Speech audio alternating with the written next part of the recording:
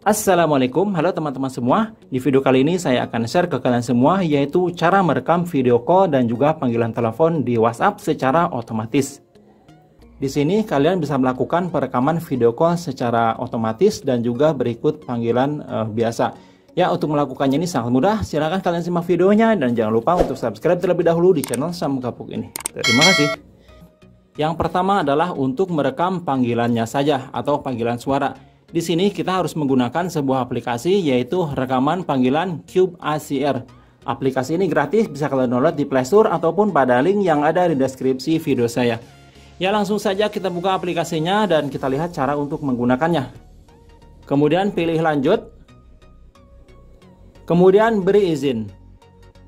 Nah sekarang untuk semua perizinannya kita izinkan saja. Kemudian pilih aktifkan app konektor. Setelah itu pilih layanan yang di-download. Berikutnya kita cari untuk aplikasi Cube ACR. Nah, di sini kita aktifkan pada menu aksesibilitas. Lalu izinkan. Kemudian tambahkan Cube ke mulai otomatis supaya dia otomatis ketika HP dimatikan. Kita centang, lalu kita kembali. Setelah itu, oke, okay, paham.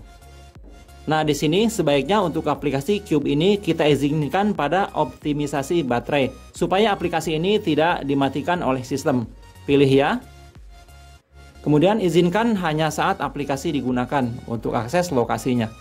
Oke, sudah siap. Sekarang kita coba untuk lakukan panggilan WhatsApp.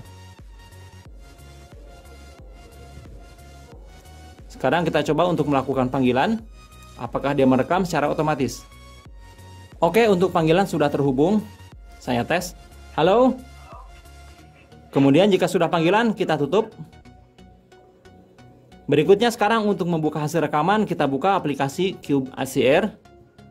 Nah, di sini ada bukti atau ada eh, rekaman dari panggilan barusan. Kita putar. Dan untuk panggilan telepon bisa diperdengarkan. Oke, itu dia cara untuk merekam secara otomatis.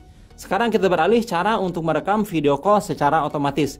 Aplikasi yang kita gunakan di sini adalah aplikasi Auto Video Call Recorder.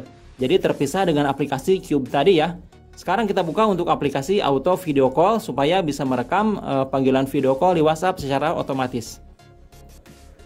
Oke, kemudian kita pilih Start.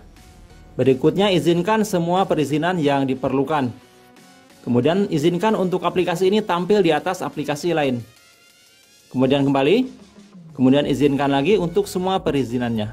Berikutnya kita pilih Start untuk memulai. Kemudian kita pilih Add Apps untuk menambahkan aplikasi apa saja yang bisa menggunakan perekaman video secara otomatis. Kita pilih di sini aplikasi WhatsApp. Oke berhasil, kemudian kita kembali. Berikutnya kita pilih WhatsApp. Setelah itu kita pilih start yang paling atas yaitu background normal. Untuk contoh saya di sini akan melakukan video call. Kemudian klik di sini untuk melakukan perekaman. Nah, sekarang untuk video callnya sudah uh, masuk dan ini sedang direkam ya.